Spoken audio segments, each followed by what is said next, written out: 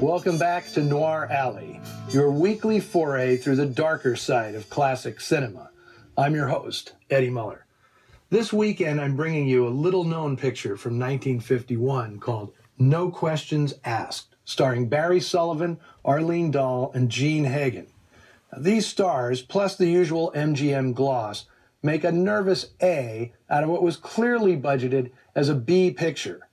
Last week on Noir Alley, we presented Crossfire, a Best Picture nominee from 1947, the first film made at RKO under the auspices of executive producer Dore Schary.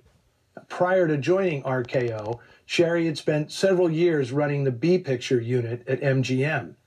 He'd returned to the studio in 1948, choosing to work once more under Louis B. Mayer instead of RKO's new boss, Howard Hughes.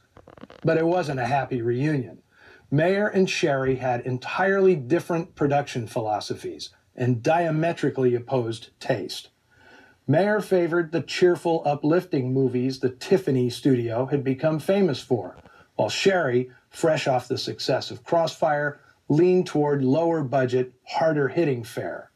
With Schary as chief of production, MGM was suddenly awash in noir. Side Street, Border Incident, Tension, Scene of the Crime, Mystery Street, The Bribe, and the cream of the crop, 1950s, The Asphalt Jungle, which Mayer hated, despite its immense critical acclaim. MGM still made trademark products like On the Town, Father of the Bride, and Royal Wedding, but the meter was running out on the reign of Louis B. Mayer. Today's selection, No Questions Asked, was produced by Nicholas Nayfack, a Schary comrade, who happened to be the nephew of Nicholas Schenck, president of Loews Incorporated, MGM's parent company.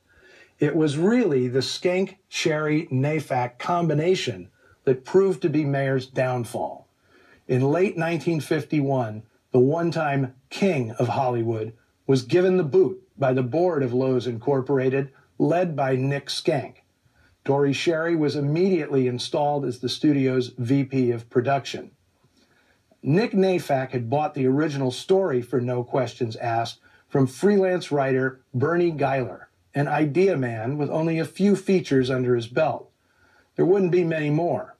In 1953, he moved almost exclusively to television, where he turned out scripts for weekly shows like Cheyenne and The Man from Uncle.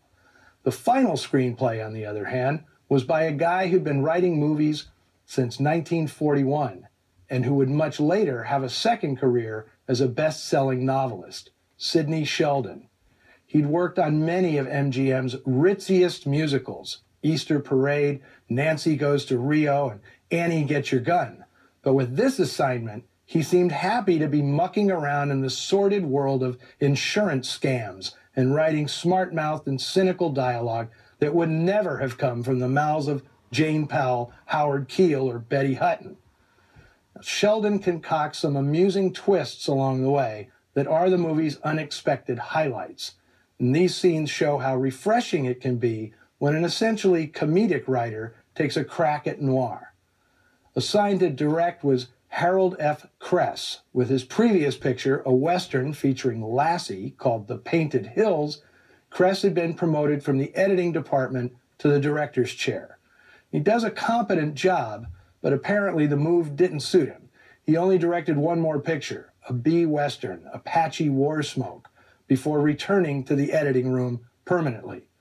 In the 1950s, he'd cut such films as I'll Cry Tomorrow, The Tea House of the August Moon, and Silk Stockings. He won an Oscar for 1963's How the West Was Won and a second for The Towering Inferno in 1974. He reunited with the screenwriter of No Questions Asked in 1977 when he edited the film adaptation of Sidney Sheldon's best selling potboiler, The Other Side of Midnight. Now, nobody ever mentions Barry Sullivan among the leading actors in noir, but the guy made at least a dozen movies that could qualify as examples of the form. And if he didn't have the compelling energy of Richard Widmark or Robert Ryan, or the laconic coolness of Robert Mitchum, he was dependable enough to maintain a 50 year career in a fickle business. My boys are getting hurt. They don't like you, Keiver. And neither do I. Thanks. I won't enter any popularity contest.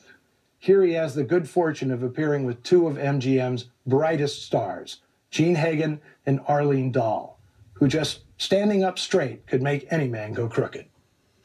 Now, escaping from the crossfire of the feud between Louis B. Mayer and Dore Schary, here is No Questions Asked.